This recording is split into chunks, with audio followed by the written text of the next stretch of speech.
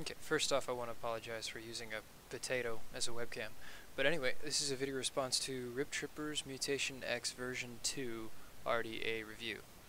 Um, a lot of people have been complaining recently about the size of the drip tip and that uh, this Mutation X is developed specifically for this wide bore Delrin drip tip and that it just will not fit a standard 510 drip tip. But I actually figured out quite by accident that you can take your standard 5 10 drip tip and just stick it in there. And as you can tell, it's a solid click.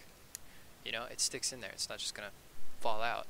And you know, if you don't mind the extra height, it works perfectly well. It doesn't affect your flavor or your vapor production.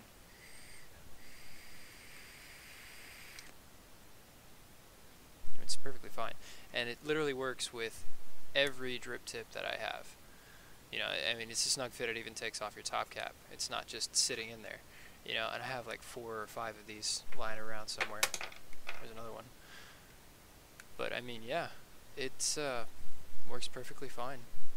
And that's about it. Thanks for watching.